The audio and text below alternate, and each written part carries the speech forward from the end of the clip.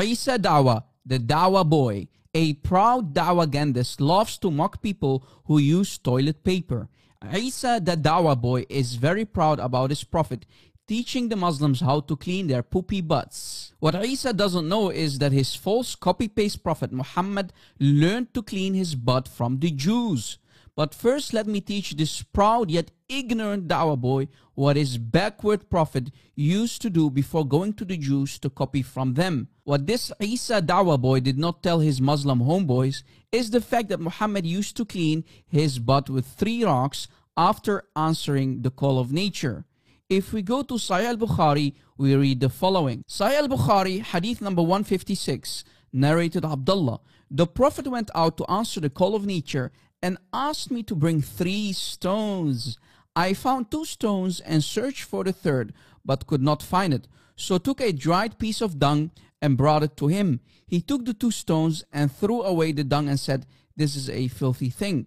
So Muhammad used to use only three stones to clean his poopy butt, Ya Isa Dawah. We have no doubt, and we're proud of that. So let us see how Muhammad finally got rid of the three stones and how he learned to clean his behind from the Jews.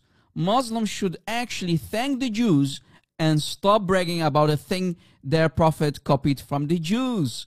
Muhammad did not invent anything new here. In Majma' al-Zawaid wa Manba' al-Fawaid, volume 1, page 213 by Al-Haythami, we can read, from Muhammad bin Abdullah bin Salam, he said, the messenger of Allah came to us and said, Allah has praised you well in terms of purification. So would you not tell me? They, the Jews, said, Oh, Ya Rasulullah, we find it written for us in the Torah, meaning using water to clean yourself after urinating or defecating. And in Tafsir bin Kathir for chapter 9, ayah 108, we can read, The Messenger of Allah asked a group of people, What is your way of purification? They said, O Messenger of Allah, we do not know anything except that we had Jewish neighbors and they used to wash their rectum from poop, so we washed as they did. Narrated by Ibn Khuzaymah in his Sahih. As you see, Muhammad is only copying the Jews. Muhammad did not bring anything new. So Muslims, stop bragging about the fact that you are always cleaning your anus with water. Ya Muslimun, stop mocking others and stop bragging about cleaning your ass with water. This was never yours to begin with. Your false prophet has always copied the Jews. This is really embarrassing, man. I will provide the references in the description box.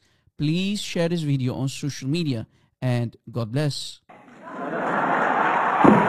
Nick Watt, ABC News.